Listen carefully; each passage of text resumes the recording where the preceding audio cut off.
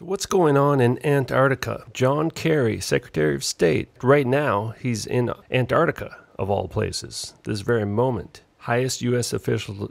Well, this is not really true, actually, is it? I think Obama made a secret trip there earlier this year. So, in 2016, right now, we got John Kerry there. And in February of this year, Patriarch Kirill was the first Orthodox leader to visit Antarctica. And he met with the Pope right around the same time in Cuba. And Obama, I believe he made a secret trip to Antarctica because he extended his trip in Argentina with a Patagonia visit, which is the southernmost part of Argentina and not so far away from uh, Antarctica, at least some of those islands. So he could have very easily snuck off to Antarctica. And uh, I'm going to show you how this ties into a lot of things. Now, in my last video, I talked about this executive order from May 6th, 2016 facilitation of a presidential transition, where basically he expanded his transition team. And really, if you're transitioning out of power, you really don't need a huge team, do you? And see what he did? He he added these people, these officials, people from all kinds of different departments, people from the National Security Affairs, and this one most interesting, Homeland Security and Counterterrorism which shows you that they're basically planning a false flag event because Homeland Security arose out of 9 11, false flag event. Economic policy, National Economic Council, National Intelligence, Office of Management and Budget, any other executive branch official the president determines appropriate. So basically, anyone he wants, really. Just about anybody. This is a transition team, keep in mind, where he's supposed to be leaving office and he can go off and play golf, whatever he wants to do, right? He, he's supposed to be leaving office, but he's ramped up this team transition team. How hard could it be? You just pack your bags and go. That's that's all you got to do. Have a guy teach Donald how to use the remote control, and you're done. Get out of there. Don't look back, right?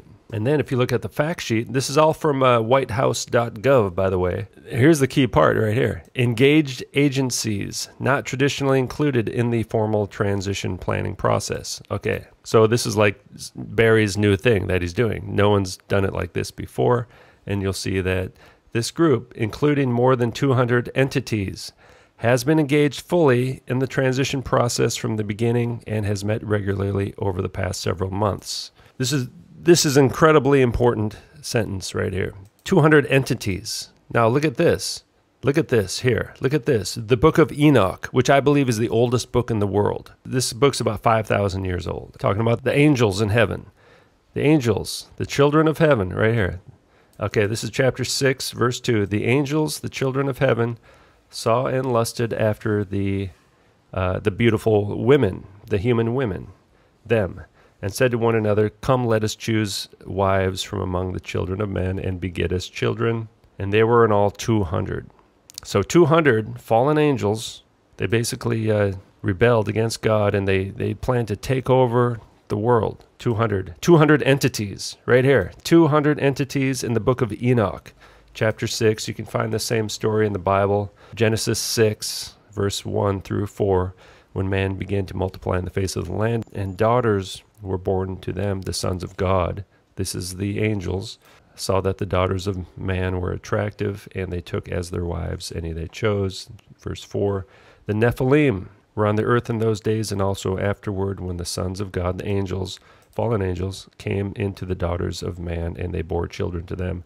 These were the mighty men who were of old, the men of renown, uh, also known as the giants, the Nephilim. What happened to the Nephilim?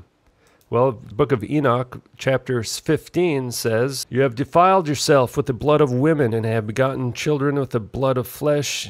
But you were formerly spiritual, living the eternal life and immortal for all generations of the world, and therefore I have not appointed wives for you, for as the spiritual ones of heaven. Now the giants who are produced from the spirits of, and flesh shall be called evil spirits upon the earth, and on earth shall be their dwelling. Evil spirits have proceeded from their bodies because they are born of men. From the holy watchers is their beginning and primal origin. They shall be evil spirits on earth, and evil spirits shall they be called.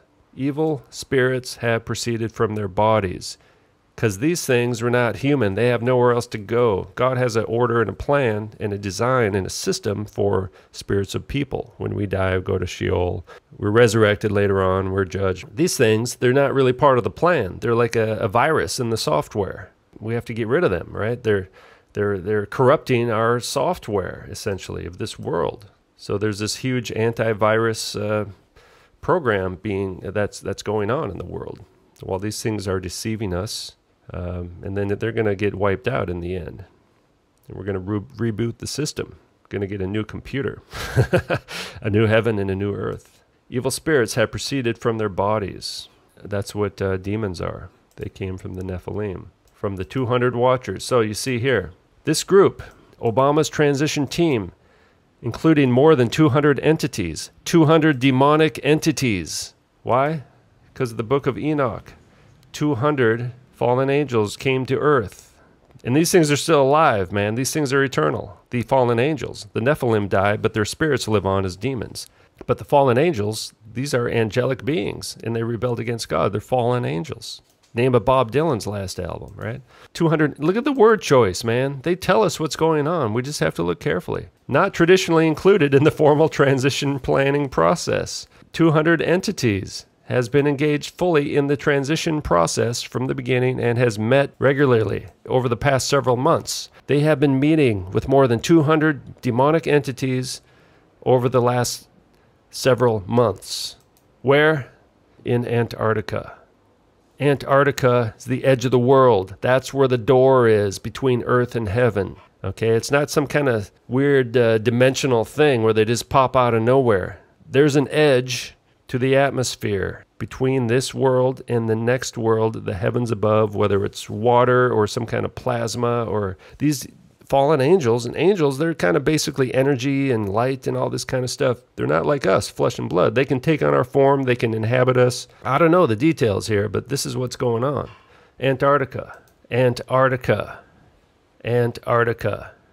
Everyone's going to antarctica. All right? Google earth. Now this is the the outdated uh, globe model that we don't use anymore, but that's what we have. Let's check it out. So Kerry, John Kerry, right this very moment, Pegasus Ice Runway, which is right here. And this, you'll see, this is about 77, 78 degrees uh, in the southern hemisphere. Okay, it's this little airstrip in the middle of nowhere, the edge of nowhere, I guess I should say. But Antarctica is very interesting. Uh, this is kind of below New Zealand.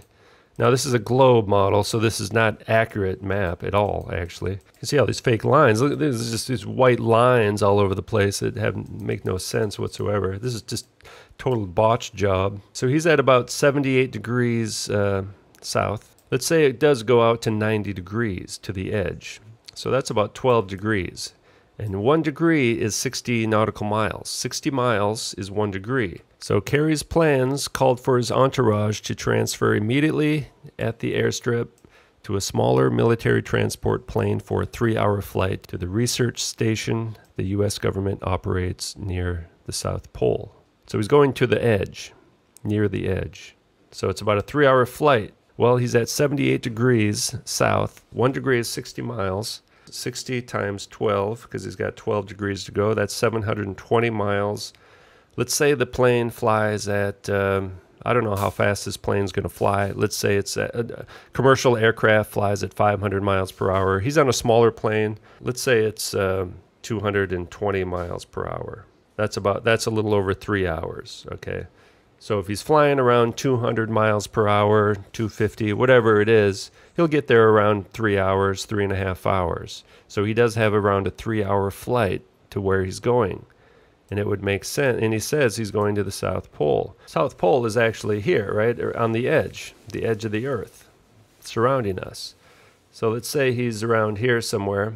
So he's around here. He's got about 12 degrees. So he's got about 700 miles to go, which would take him about three hours. And he's going to go to the edge. He's going to the edge of the world they don't let people go here, right? Normal people cannot go to the edge of the world. Now we really don't know what's on the other side of this, but it's uh, you know it's essentially heaven, the heavenly realm. We have our heaven here. Sometimes it's called heaven, the atmosphere, the air. but there's a, uh, a, a different realm. So he's going to the doorway to consult with the fallen angels directly. This is where he's going to talk to the people on the other side, people on the outside of this world, because that's what it says. The whole circumference around the edge of the earth, the ice wall, the ice barrier, that is the South Pole, which is not a, really a pole, is it? It's just the circumference. They got it all backwards. So it says right here, remember, this group includes more than 200 entities, and they've been engaged in the transition process from the beginning, and they've been meeting regularly over the past several months. John Kerry is in Antarctica meeting with the entities. We see that this uh, Russian Orthodox uh, leader, Patriarch Kirill, has been meeting, and he met with the Pope around the same time to give him a debriefing. And Obama has been meeting with these entities uh, as well. They've been meeting regularly over the past several months. They're telling us right here. We see the origin of these 200 entities right here in the book of Enoch. They were in all 200 fallen angels. 200 of them came to earth. Okay. Now a lot of them are locked up. So maybe they you know maybe what they're doing is these people are in jail essentially, the uh, the abyss. So maybe they're breaking these guys out of the abyss or they're coming out of the abyss. There, there's a term limit. They do get out, right? These people are getting out, man, these demons. And we're heading into the days of Noah again. And uh, when all flesh was corrupted, you know, in that flood, that was to save humanity because these people defiled the entire world. They corrupted our DNA with hybrids. They even came down and mated with animals. That's where all these gods and goddesses come from. These statues you see everywhere, like in India and all these places, those are real, man. Those were real and there it's a freak show is what it is. And the flood wiped out all that uh, corruption. It's going to happen again. They came back. They came back. Somehow the dna strand survived the uh, flood. So you can see enoch. Enoch was the seventh generation of human being on earth. History started about 6000 years ago. He was the great grandfather of noah. Enoch wrote this book the book of enoch and he wrote it around 5000 years ago but this dude, man, he saw how everything works. He knows what's going on. Book of Enoch. I mean, unless one of these guys wrote a book before Enoch did. You know, did maybe Adam wrote a book, Seth? I don't know. I don't know. As far as I know, it's at least one of the oldest books in the world, if not the oldest. Pre flood book, man. Somehow they must have put it on the boat. So a lot of weird stuff. Days of Jared, right? That's where the Nephilim came, the giants, all the first generation Nephilim. They killed each other off, and then the spirits have been roaming the earth since then. And then the uh, kind of a lower grade of Nephilim came through the flood uh, with uh, Ham's bloodline, and those are the ruling elite we have today. Are the uh, from the bloodline of the fallen angels directly. All right, and they'll even tell you that. You know, certain countries. Uh, I get in trouble if I say which one. Well, I know Japan says it, uh, and many other, most countries, in fact, believe their royalty comes from the angels. Right? There, there are the bloodline of the gods. That's what the Greeks believed, and the it's the same story. The Greek gods and goddesses are the fallen angels and their sons. The Greek mythology is really the Greek religion. It's really Greek history. It's really world history, and it's true. Gods and goddesses really existed. Small g. Of course, the big God exists as well. History around the world talks about these gods and goddesses, fallen angels, mating with female women, producing offspring, and they also talk about a flood. And you find, uh, you know, fish bones on top of Mount Everest and stuff. So, you know, despite all the lies we've been told, this is this is history right here. This is the mystery history. All right, now finally, Mark chapter 5, verse 8 Come out of that man, you unclean spirit. So there's plenty of examples of uh, Jesus walking around cleansing people of the unclean spirits. These are the disembodied spirits from the Nephilim. Send us into the pigs. Let us enter the pigs. The unclean spirits came out and entered the pigs. Why would they enter pigs? Because the pig is unclean to you. So the unclean spirits in, went into an unclean body. A woman shall not wear a man's garment. Nor shall a man put on a woman's cloak, for whoever does these things is an abomination to your Lord your to the Lord your God. An abomination, unclean body, like the pig, unclean. The spirits, unclean. they begged to be that they could go into the unclean body. They loved the unclean bodies. That's why these deceptive, secret transgendered entities are demonically possessed transgendered entities because their body is unclean because their body, according to God's laws, okay, this is God talking. Transgenderism, transvesticism is an abomination to God. Unclean. That's why the demonic entities, the unclean spirits, the disembodied spirits of the Nephilim inhabit the Illuminati trannies. That's how they get them to come, right? They want them to be inhabited. They want them to inhabit their body. Now, some of them are born, they are actually the bloodlines of the fallen angels, like the uh, the royal families and the uh, of England and Europe and all these people, the presidents of the United States. They're all related. That's why they control the bloodlines so strictly, and that's possibly also by being androgynous or transgender. They they're not going to accidentally breed with uh, normal people either, right? They're going to control their breeding. So they, you know, they all, yeah, they have lots of babies and stuff, but we don't, they're not coming out of these people's bodies because those are men. The ones who look like women are men. The ones who look like men are women. They're Nephilim, man. So the elite, the ruling class, especially in the political realm, they are bloodlines of the fallen angels directly, blood, bloodlines of the Nephilim. They have that blood they do come from heaven, essentially, right? And they're rebelling against God. So all these stories, all these people around the world who say their royalty comes from their angels and stuff, they're actually correct. It is true. Obama doesn't have a birth certificate or a uh, social security number, you know. So it's um, he's you know he's some kind of creation. He's a bloodline uh, breeding program uh, creation kind of guy. Probably not even human, just purely demonically possessed. That's why they can lie so well. And Hillary Clinton's the same. And Trump's the same. That's why he's, he's always doing the 666 sign when he's lying. It gives them power to deceive. So it says right here, they did all these abominations so that the land became unclean. So everything became unclean. The whole, even the land became unclean. Revelations 20. This is the end. Okay, this is the future right here.